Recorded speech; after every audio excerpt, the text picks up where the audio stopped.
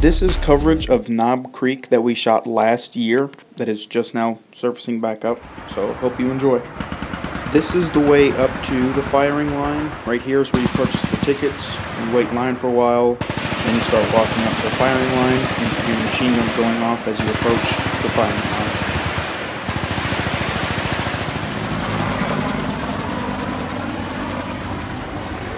Now there are vendors there that sell all sorts of stuff, but unfortunately there are not a whole lot of firearms for sale.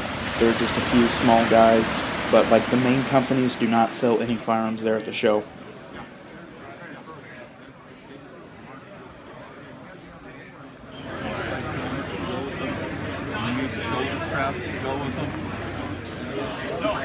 That, that goes with it also, that's one of them. Now there are also a lot of vendors there that sell firearm parts, all the way from M79 grenade launchers to M60 machine guns.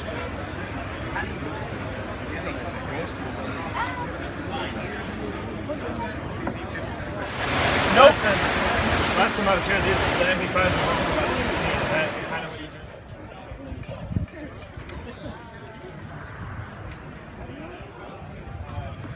They also had the very famous minigun. They actually had three of them up on the firing line. Here's the first one, and then you'll see the second one right here. Look at all that brass. Beautiful.